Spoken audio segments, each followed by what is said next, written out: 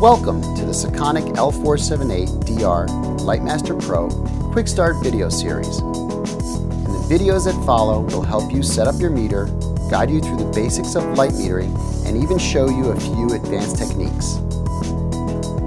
Let's get started. In this first video, we'll illustrate how to get your L478DR up and running and give you a brief overview of its basic functions. First, let's install the batteries. Simply release the battery cover latch and lift the battery cover off. The L478DR takes two AAA batteries. Power the meter on by pressing and holding the power button.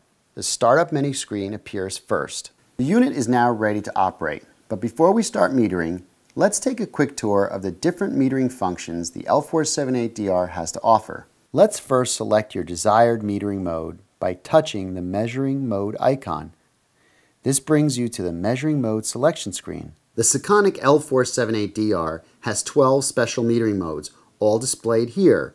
Ambient T, F and T plus F, HD Cine and Cine, Illuminance, Luminance, Flash Cordless, Cordless Multiple Flash, Cord PC, Cord PC Multiple Flash, Radio Triggering, and Radio Triggering Multiple Flash.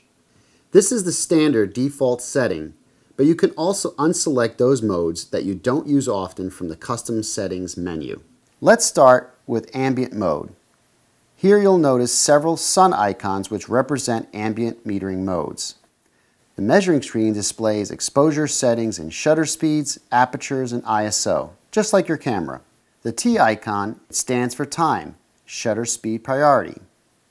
The F is for f-stop, aperture priority. The up and down arrows let you scroll to make exposure settings either in shutter speed or aperture settings depending on the measuring mode you select.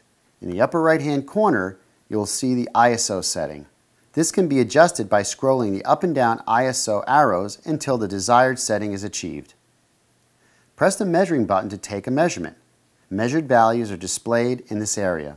Even after taking a measurement, any changes to the shutter speed or ISO settings will automatically change the measuring value in f-stops. What about flash measurements? Let's go back to the measuring mode selection screen. Here you'll notice several lightning bolt icons, which represent flash metering modes. You can choose cordless, PC cords, or radio triggering mode. If you select basic cord flash mode, you'll need to attach a PC cord to the L758DR's synchro terminal. If you select cordless flash mode, simply press the measuring button and the L478DR will wait for up to 90 seconds for you to trigger the flash manually.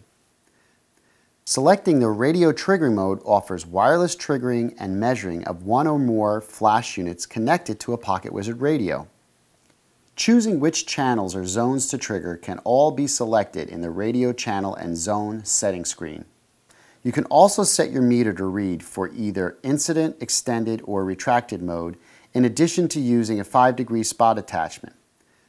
The light metering head also swivels to position the Lumisphere and the color touchscreen for better viewing. As new enhancements, features, and functions become available, it's important to keep your L478DR updated.